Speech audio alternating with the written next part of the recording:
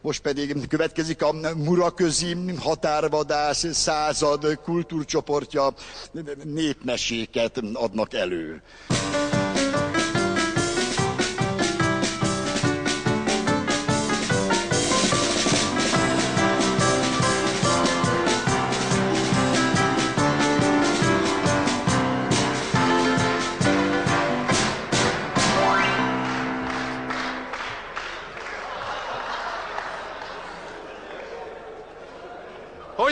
Ki?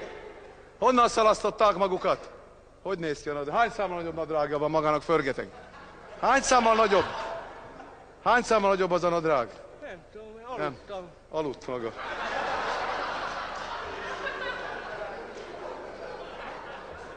Szeretnénk bemutatkozni. A Muraközi vadász, határvadász zászlajtra vagyunk. A hazaszolgálató hozott össze minket. Ezeket mi hozta össze, azt nem tudom. Szeretnék bemutatkozni. Csodás József főtörzsmester vagyok. Ez itt mellettem Pópics László, tizedes. Förgetek, ébresztő! Kerekes Pálkó, kerekes... nem mondja! Francot csinált maga éjszaka. Ember. Ember. Magát senki nem kérdezte. Szeretnék elmondani egy nagyon szép népi ihletésű mesét.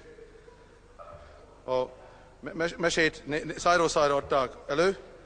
Mi előttük először Muraközi határszázad zászlóajra, és hát azóta kaptunk kimenőt, eljöttünk a ki mit tudra. Pópics László, Förgetek Balázs. Van. Mácsonyácska. Elindult Márton bácsi kifelé az udvarból, mikor észrevette visszafelé, hogy Mandlinerból begyűjtek a pandúrok. Sánta volt, bicegett ugye az őrvezető, de rossz, rossz nézése volt. Rögtön rátaposott a mácsonyára, hogy szétplattyolodott. A kis Sanyi gyerek meg úgy kimászott a gödörből, aztán csak úgy csipálkodott. Édesapám, édesapám! Fünn a tetőre nézzen, ott meg dolgozott fönn a Sanyi gyerek. Sanyi gyerek megkapozott a tetőbe, mert zuhant lefelé a tetőről, és leszólt, hogy édesapám, édesapám, leesek a tetőről! Mert csak az apja oda sercített, nem, bocs, ez meg azt nincs elég hely, hadd esél, nincs szó. Közben már érett a mácsonya. Szürküllött, rózsaszín volt. Kihúzták az udvarból, neki támasztották a falnak, azt lefolyt mellette. És ekkor elindult a legkisebbik gyerek. Maga jön Pópics. Elindult a legkisebbik kisemmizett kisfiú, hogy szerencsét próbáljon. Elindult megpróbálni szerencsét. Három út volt előtte, és a negyediken elindult. Ment, ment, mendegélt, három nap, három éjjel, még a harmadik műfog sorát elkoptatta, amikor is ugyanis egyszer csak találkozik egy Iljics tekintetű kecskével. Mivel találkozott? Illics tekintetű kecskével. Oda megy hozzá. Ide figyelj, Illics tekintetű kecske. Ma, a, ide figyelj. Azt szeretném megkérdezni, hol lakik, melyik lakásba tündérszép királylány? Azt mondja, hogy hát még gondolkodni kell rajta erre. Azt mondja, ide figyelj. Három kívánságot teljesítem, hiszen jó tét helybe jól jársz. Mi legyen a három kívánságot? Azt mondja, fogd meg a szarvamat, és toljál föl a hegyre. Megfogja a szarvát, föltolja a hegyre, leporolja magát, aztán egyszer csak föltűnik a töndérszép királylány, Mú, a királylánynak odadobnak egy krajcát, lehajol, oda szalad mind a kettő, Pópics!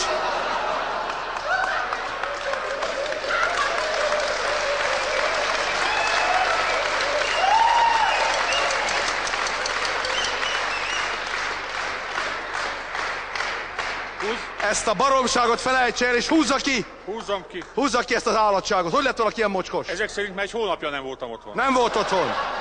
És nem érdekel, mit csinál az asszony. Fergeteg maga jön, ne aludjon ott. Fergeteg! Kerekes Palkó, kerekes Palkó, nézd, hogy hagytál, nézd, hogy hagytál! Fordulj a korvoshoz, ki lesz az apja, ki lesz?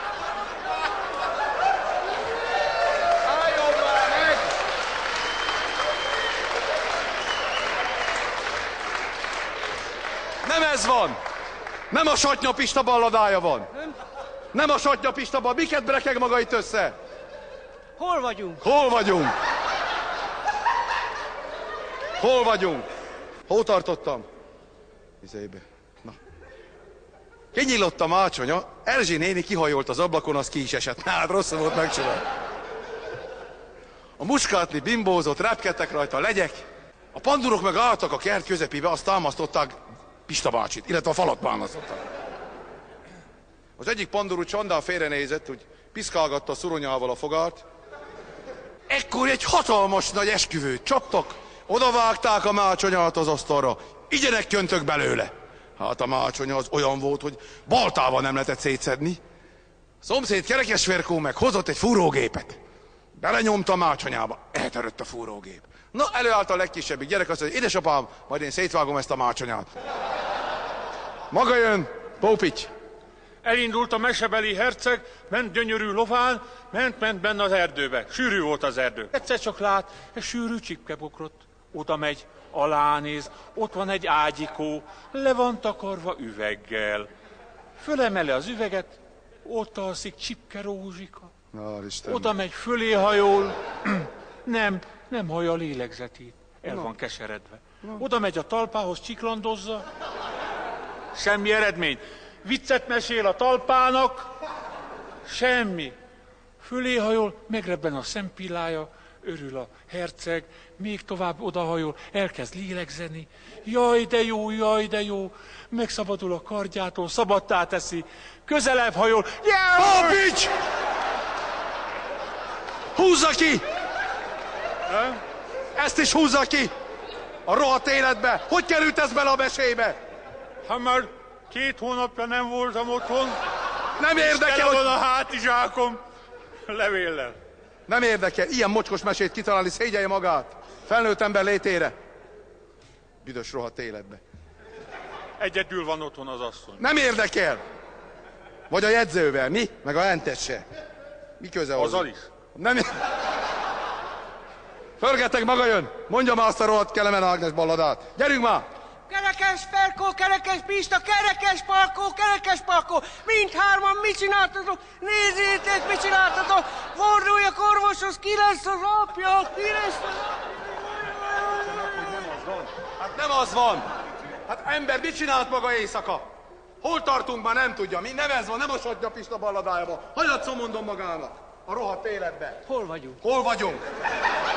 Hol vagyunk? Szégyeljék magukat. Mácsonya meg érett. Bement Ferkó bátyja. Na mégiscsak meg lesz az esküvő. Szép nagy esküvő volt. Levágtak egy csomó disznót, lábasószágot, meg Gergő bácsit a gerendáról. Mári néne a lavóra ment az udvaron keresztül, hogy egy kis mácsonyát szedjen a lavorba. A lavor be volt horpadva, mert ilyen hideg idő volt. Olyan hideg volt, hogy még a varjus megugrott a szántásba. Emberemlékezet óta nem volt olyan hideg, mondta. A varjak macskanyomot hagytak, nyávogtak is rendesen. Maga jön, Pópics, ne rögjön! Piroska elindult, elindult, kis ételhordójával vitte beteg vacsorát nagymamának. Ment keresztül az erdőn, gyönyörű mellei volt, Befejezte! Ez nincs a mesébe. Pópics, gyönyörű keble volt neki, így már mehet. Mini szoknya volt Mini rajta, szoknya. hosszú combja volt, hosszú combja is volt. olyan jó nézett ki Piroska, hogy a gombák egymás után emelgették meg a kalapjukat, Pópics! és ment, ment, odaérkezett a házikhoz, nem is sejtette, hogy ez a gonosz farkas már megette a nagymamát. Bemegy, azt mondja, itt az ebédke, csak előtte letusolok. Bemegy a tusolóba, levetkőzik, oda megy a farkas, lesz be a kúsrukon, látja, milyen jó falatok vannak. Ugye már Pópics, ne kezdje. rég volt az ember otthon, tehát Nem érdekel, hogy hol volt maga. Jó. Lesekedik, ő szappanozza magát, ez a gyönyörű piroska, kitárja az ajtót, ez a gonosz farkas, és a farkával lelöki a szappant. Piroska keresse a szappant, keresse a szappant, lehajul, a farkas eltátja a száját, és... Pópics! Húzza ki! Hagyja már abba ezt a mosladékot! Én húzzam ki? Húzza már ki ezt a Na, hülye farkas. szövegét! Húzza ki ezt a szöveget, mert undorító. Nem, egy éve nem voltam ott. egy éve! Förgetek, maga jön. Kerekes farkas, kerekes farkas, nézd, hogy hagytál, nézd, hogy hagytál, ki lesz a lapja, forduljak orvoshoz, ki lesz Befejezte? a lapja? Befejezte? Idiótája! Befejeztük a mesét, elég volt magukból mára. Nem Fenyíteni fogom mindegyiket, szégyeljék magukat. Nem ezt magyaráztam magának a bonynál. Jöjjön a mese vége, azt majd megbeszéljük. Gyerünk. Itt a mese vége. Gyerünk, fuss el végére.